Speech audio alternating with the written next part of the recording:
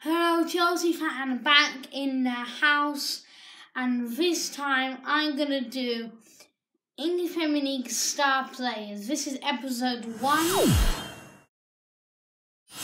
Guys, so you haven't missed anything, and in the next few days I might be doing episode two. Um, and we'll start with AFC Bournemouth. This is hard. It's between Callum Wilson and Joshua King and Nathan Ake. I'll go for Joshua King because I mean, 2016 to 17 was very good. 2017 to 18 was kind of a bit shaky season for him, and 2018 for 19 for now it's been quite good. For, like for now, it's been good, but oh, like last season, a bit shaky. And our second team is Arsenal, and their star player is obviously Pierre-Emerick Aubameyang.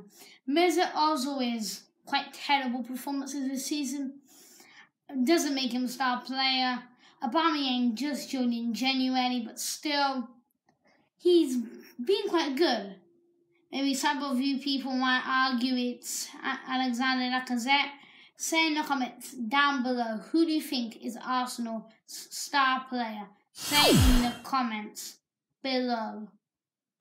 And now to Brighton and Hove Albion when it's just obviously, obviously Glenn Murray. No one else really did that well last season for Brighton. Well, Anthony Knockaert doing okay, Jose Izquierdo doing okay, but Glenn Murray last season was outstanding. He did really well, got a couple of goals, really well, really good. Last season was great. Now this season, I don't even think if he started yet. He's been quite quiet this season. We've only gone into four games. I don't even know if he started. I actually don't know. Um, Glenn is a great player. But I really needed him last season. They probably would have got that again last season without him. Glenn Murray is clearly Brighton's star player. You cannot argue me with that. You cannot argue with that. There's no way you can argue with that. He is Brighton's star player. He is.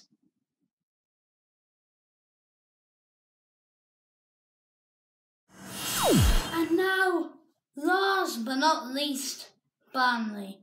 And their star player is, well, if you want, watch my last video, you probably will know I really like Ashley Barnes. Better than Chris Wood, as I clearly stated in my other video, Ashley Barnes is player. Yes, there is Tom Heaton, yes, there is Nick Pope, but you can't really give goalkeepers like star players. They're not really the star players because they can't really be the best players. You take them out of the team. They, they can still live with it, they just get another goalkeeper. Anyway, they're both injured.